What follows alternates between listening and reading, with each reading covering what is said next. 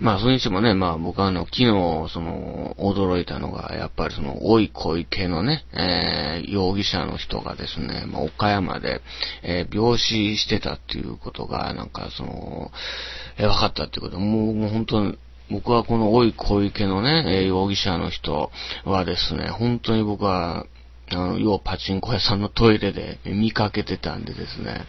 えー、今どうしてんのかなと、なんか一説には北海道にね、なんか生息してるみたいな、えー、なんか情報もですね、なんか一部では流れてたりしてたんですよね。うん、だからてっきり、え北海道かどっかでいるのかなと思ったら、なんか岡山県警のすぐそばの、えー、岡山で、えー、暮ら、岡山市内でね、なんか座っ、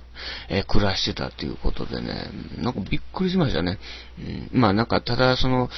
ポスターの顔と、やっぱりちょっとだいぶ変わってたみたいで、なんか目がつり上がってたみたいでね。だからそれで近所の人も、えー、全然わからなかったみたいな、まあ、ことなんですけども、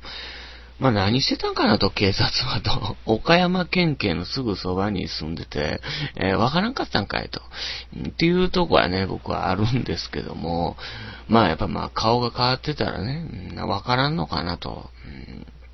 まあなんか、その、一緒にね、なんか女性と暮らしてたと。えー、だいぶ年上の、えー、この人は、えー、50、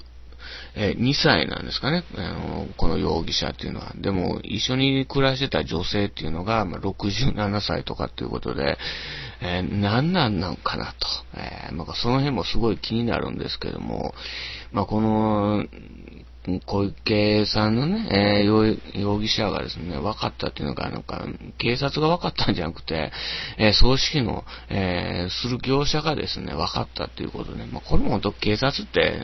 やっぱりあんま大したことないなと。まあ、言うても、えー、その検挙率っていうのは、えー、2割以下ですからね、日本の警察っていうのは。やっぱり全然優秀じゃないんですよね。まあだから、えー、捕まえやすいですね、普通の一般市民の、えー、ネズミ捕りだったりですね、自転車だったりね、そんなこ取り締まりばっかりしてんのかなと。うん、なんかそれでこう、検挙率をですね、かさ上げしてるっていうか、水増ししてるっていうかね、うんまあ、そういうとこはなんか感じるんですけども、まあでも、その、まあ小池さんがね、まあ、え亡くなったことで、やっぱり、全国の小池さんはなんかほっとしてんのかなとかって思ったりして、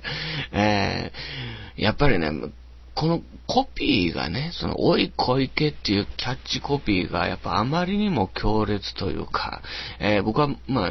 ある意味でね、秀逸というか、え優秀なコピーだと思うんですけども、ただやっぱり全国の小池さんはですね、もう絶対、えー、特に子供のさんなんかはですね、おい小池と、えー、言われてたんちゃうかなと。この10年間ね、えー、逃亡中の間の10年間はですね、なんかそういうのが、まあちょっと気の毒かなと。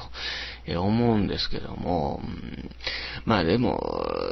なんかね、でも、まあこの容疑者も、ね、僕はちょっと気の毒だなと思うのは、なんか心臓疾患で亡くなったらしいんですけども、まあやっぱりそれで逃亡してるからですね、なかなかこう病院にも行けないと、薬とかも、えー有効な薬もね、まあ、もらえないとは買えなかったんだろうなと。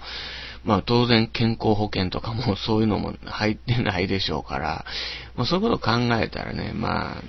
まあ気の毒っていうか、まあやったことがね、殺人ですから、だから僕はその、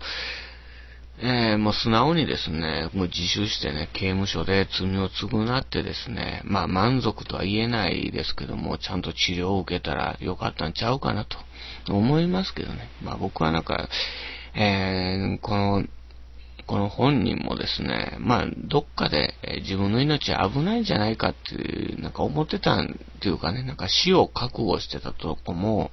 まあ、あるんじゃないかなという、まあ、気もしないでもないんですけどね。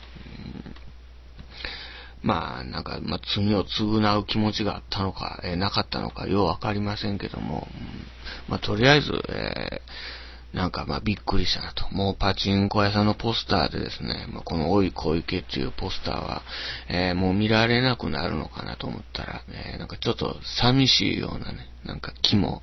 えー、しないでもないかなみたいな、え気はしますけども。